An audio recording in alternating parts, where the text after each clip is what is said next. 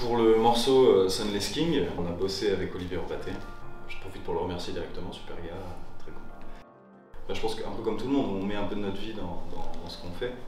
Et, euh, et la proposition qu'il nous a fait, le scénario qu'il a fait, collé, euh, était très cohérent, genre vra- vraiment très cohérent, alors qu'il ne l'avait pas expliqué, ni les paroles, euh, ni, euh, ni dans quel contexte on l'avait composé, etc.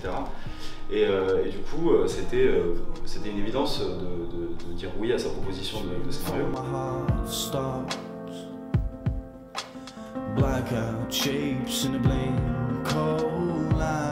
En faisant du son chez l'un et l'autre pour déconner. Et puis à un moment donné, on s'est rejoint euh, là-dessus en se disant bah tiens, on a, on a envie de faire de la musique plus pop quoi. Euh, sortir un peu des- de, de- de styles euh, bien précis, avec des codes bien précis, que ce soit dans l'électro ou dans la techno, ce genre de truc. On mixait, on continue à mixer un peu de la techno. euh, euh, lui était toujours DJ, j'ai- été DJ aussi, euh, voilà. Et puis au fur et à mesure, on bricolait des petits trucs ensemble en se disant, au début vraiment pour la blague, on a vraiment fait des, morceaux pour la vanne, des trucs italo un peu barrés. Et puis, puis au bout d'un moment, on s'est dit, bah, en fait, allez, allez, on fait un truc, on compose quelques morceaux et puis on, on se donne un nom, on s'appelle euh, La Marine, c'est parti d'une blague. Euh, tout, tout est parti un peu d'une blague et je pense que c'est hyper simple de faire ça.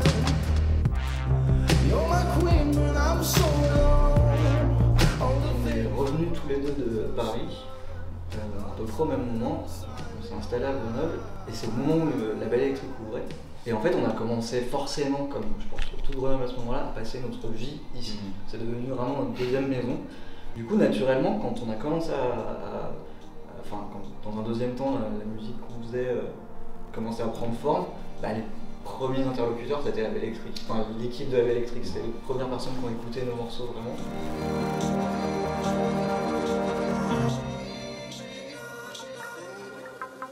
Qui revient souvent dans, notre, dans notre musique et on nous fait remarquer, c'est euh, l'émotion.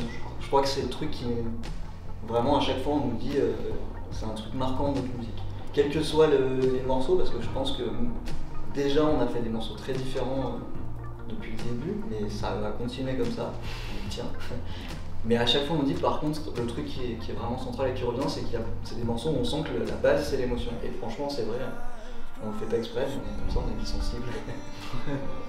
Justement, on est en train de bosser sur, euh, sur la suite du projet où on ne prend pas une, direction euh, musicale radicalement différente, mais on évolue, euh, je pense, naturellement vers ce dont on doit aller. Euh, plus de live.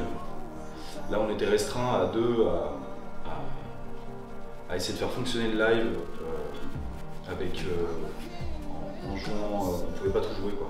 On avait des arrangements qui étaient assez. euh, assez euh, complexe et à des moments bah, voilà, on ne pouvait pas se permettre de tout jouer et puis après avoir fait quelques dates et puis la pause à cause grâce au Covid, ça nous a permis de, de reprendre du recul sur le projet et de se dire qu'est-ce qu'on a envie de faire, comment on a envie de le faire.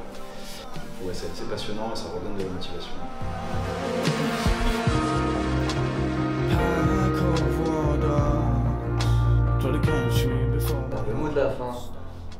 Euh, bah, justement, c'est qu'il n'y a pas de fin en fait. Ouais, c'est c'est bien ce mot de la fin.